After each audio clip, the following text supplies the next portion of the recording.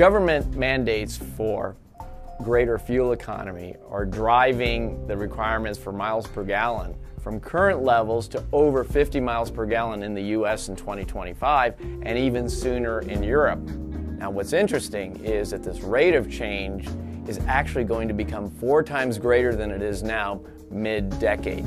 So, cars that are starting to be designed right now are actually going to be the first that have to meet these new, more stringent regulations.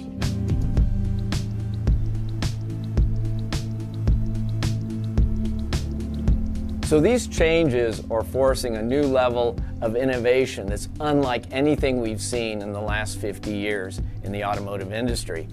Unfortunately, engineers aren't going to be able to rely on the experience that they've built up over the last 50 years designing and building steel welded automotive structures.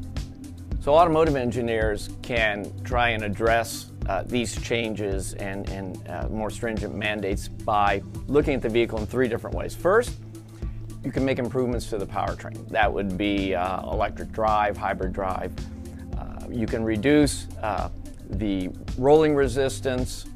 Uh, aerodynamics can be made more efficient, reduction in performance.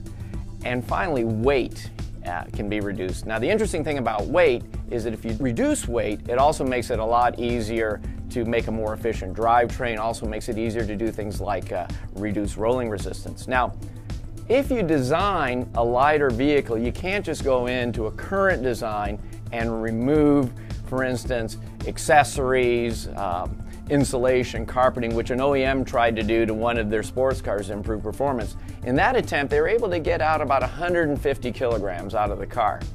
Now, Jaguar, in their Range Rover Sport, was actually able to take 300 kilograms out of the frame. So they did a design for lightweight. And by taking 300 kilograms out of the frame, they were able to get an additional 200 kilograms elsewhere in the vehicle. And that's a result of what's known as the weight reduction spiral.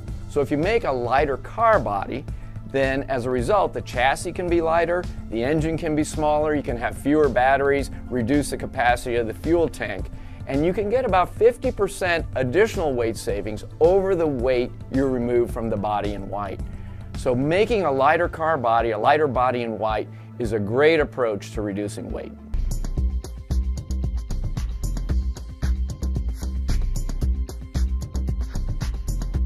A recent study that the Aberdeen Group did for us uh, of the major OEMs and, and tier ones throughout the world indicated that almost 80%, and this was not a surprise, felt that the fuel economy regulations is the number one pressure that's driving change right now.